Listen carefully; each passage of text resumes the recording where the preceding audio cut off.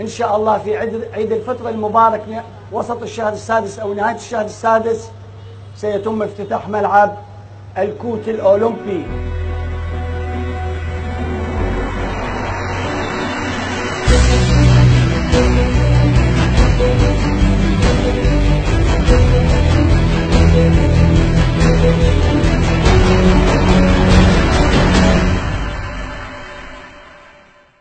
صرح رياضي جديد يدخل الخدمة الكروية في واسط. بعد أن كانت هذه المحافظة تعاني قلة الملاعب وإهمال القطاع الرياضي.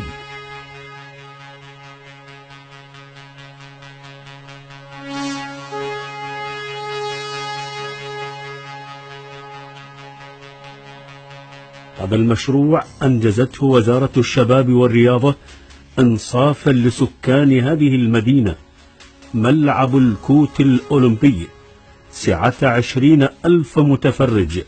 سيخدم رياضيي وشباب محافظة واسط. ويكون إضافة مهمة لملاعب العراق.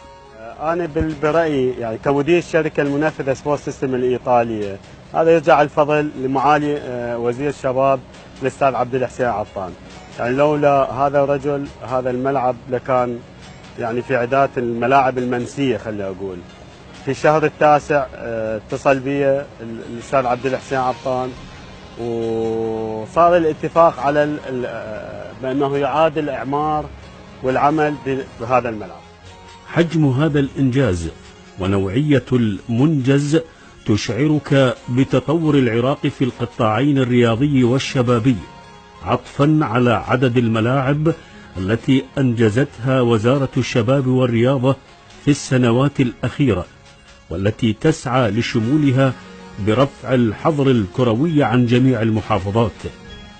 هذا المشروع الرياضي الحيوي لمدينة الكوت ومحافظة واسط يعتبر من المشاريع الاستراتيجية التي تخدم المحافظة بعموم المجالات.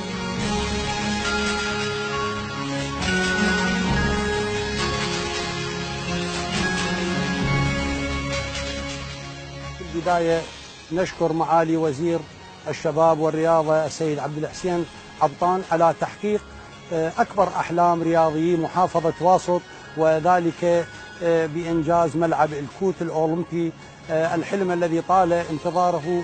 وفي فترة سابقة أيسوا رياضي محافظة واسط من استكمال ملعب ولكن السيد الوزير وعدهم بأن يكمله وإن شاء الله ونحن فرحون جدا حاليا ونحن نرى الملعب وهو آه، في تقريبا مراحله الأخيرة من البناء وتقريبا 85% من العمل آه، كمل ورياضيين المحافظة وهذا سيؤدي إلى تطوير رياضة كرة القدم في محافظة واسط بصورة خاصة وكذلك ألعاب الساحة والميدان اللي اشتهر بها أبناء محافظات واسط من سنة الخمسينات تقريبا.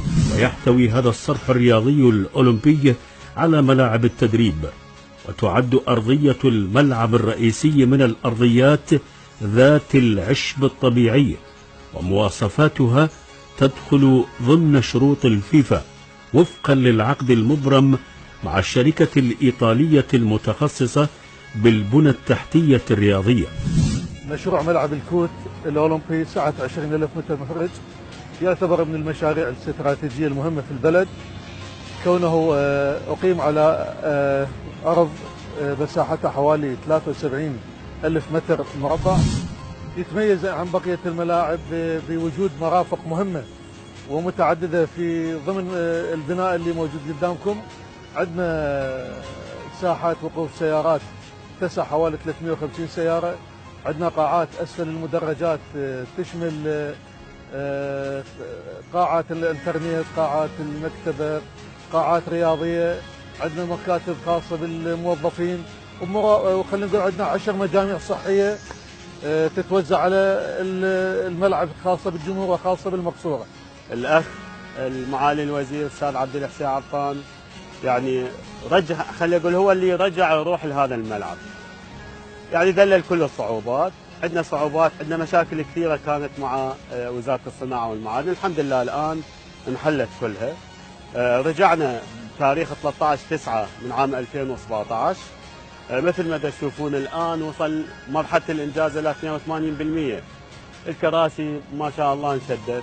السيل تشوفون نصه يعني آه، آه، تركب. وغدا يعني غدا تقريبا الساعة 8 صباحا يتركب الجزء الثاني. التيل مالتنا من نوع إيطالي.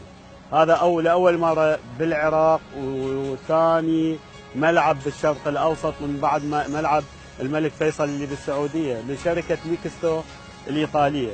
هذا اللي هو التيل الخليط بين التيل الطبيعي 90% والتيل الصناعي اللي هو 10% نفس هذا التيل هو موجود في ملعب ريال. في هذا الصيف نفس هذا التيل أيضا سيركب في ملعب برشلونة.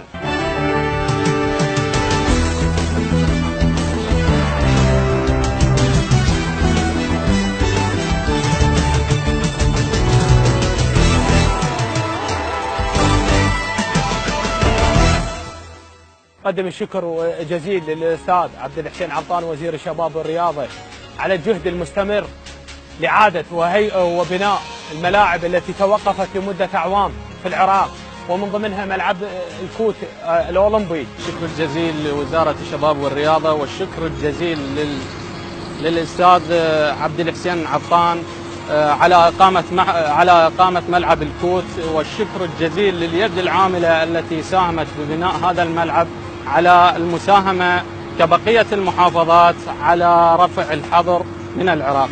ورغم التقشف وقلة الأموال وتلكؤ المشاريع بعموم المجالات والمحافظات إلا أن وزارة الشباب والرياضة مستمرة بافتتاح الملاعب وبإنجاز المشاريع التي تخدم واقع المحافظات العراقية.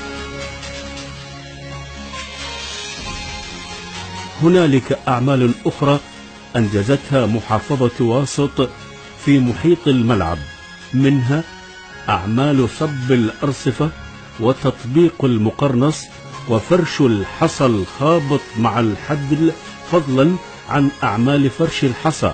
أسفل المدرجات مع أعمال رفع التربة الزائدة والتسوية وتنظيف شبكات المجاري للشوارع الداخلية من الأنقاض.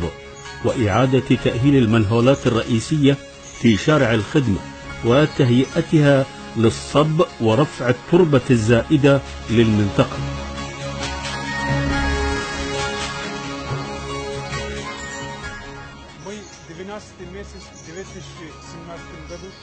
آه، شركتنا هي اختصاص بالحديد والسقوف الملاعب. آه، إحنا نصنع الأعمدة الحديدية. في إسطنبول ودشحنا عن طريق السيارات إلى العراق إلى الموقع. وهذا يعني آه، نشتغل بآخر تكنولوجيا وبعيد عن المخاطر أيضا الشغل مالتنا. إحنا آه، يعني البلان مالتنا الخطة مالتنا نخلص الملعب كل العمل مالتنا الخاص من الشركة مالتنا اللي هي اسمها ارتان جلوبال التركيه من 30 إلى 40 يوم. إحنا انتهينا انتهينا من خلينا نقول اعمال البنى التحتية، البنى التحتية يعني صعبة كثير، إحنا صار لنا أكثر من ست أشهر والحمد لله يلا انتهينا من البنى التحتية. بدينا بالصبغ أيضا صار قبل أسبوع بدينا بالصبغ الخارجي، طبعا صبغ المدرجات انتهينا تقريبا من عنده بنسبه 90% شاشات تم استقبالها كانت 24 متر صارت 42 متر. شاشتين عملاقة من الجهة الشمالية زائدا من الجهة الجنوبية. آه، راح تكون بوابات اثنين طوارئ. جهة من الجهة الغربية للملعب الطوارئ. إن شاء الله أيضا يعني بعد ما نخلص التسقيف شركة تركيا راح تقوم بال بالإنهاء مال هاي بوابات الطوارئ. عندنا سيطرة الكاميرات. سيطرة الكاميرات سيطرة الصوتيات آه، سيطرة الإنترنت والتلفزيون والبدالة. الفائدة للملعب لرياضي محافظة واسط هو أن تعود كرة القدم لسابق عهدها لهذه المحافظة آه، التي صاحبة التاريخ آه، الكروي الكبير حيث كانت كثير من المنتخبات الأجنبية تزور محافظة واسط. هذا التعاون بين وزارة الشباب والرياضة ومحافظة واسط نتج عنه تحفة معمارية جميلة تدخل ضمن إنجازات الوزارة هذا العام. محافظة واسط للأسف لا توجد بها منافذ خلينا نقول للشباب في هذه المحافظة. فقط توجد بعض المنتديات البسيطة ولكن هذا الملعب راح يكون قد ملتجئ مهم للشباب كونه يحتوي على مرافق ترفيهية فيه شاشات عملاقة فيه ساحة تدريب.